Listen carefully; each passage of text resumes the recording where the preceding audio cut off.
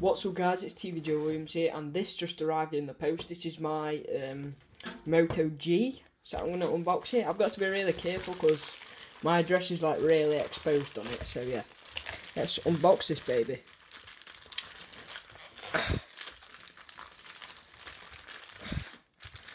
Here we go. On the top we've got a letter from my courier I think Yep, I've got a few letters actually.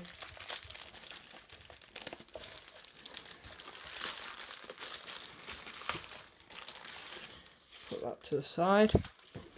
Um, yeah, don't really need to worry about these letters. Just get to the main purpose. Yep, my sim's there, luckily. Um, but yeah, here's the phone. Well, the box. God, that's tiny, that box is. That is so tiny. Look, well, it doesn't look tiny, but it is quite small. So in here, all you oh, there's some sellotape on the side. Well, um, Motorola did a really smart thing actually. They um, only included the phone and the actual cabling. Right, nice little Motorola sellotape there. Very nice addition. And yeah, let's um, let's first. Oh. That is quite nice actually. But we'll get back to that in a minute. First impressions, that's quite nice actually. No covering on the back though. But yeah, got the phone there. And then in here all you're going to get is the USB um, cable.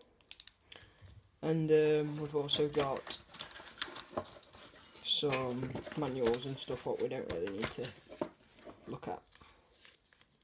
Some get started guides stuff start to do it. Um, then yeah, let's have a look at the main phone. It's quite thin. Um, on the side you'll see um, some like I think they're the volume rockers and that's the lock button. On the other side there's nothing at all. Um, bottom there's a um, micro USB port for charging it whatsoever.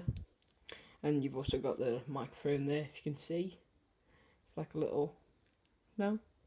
Okay.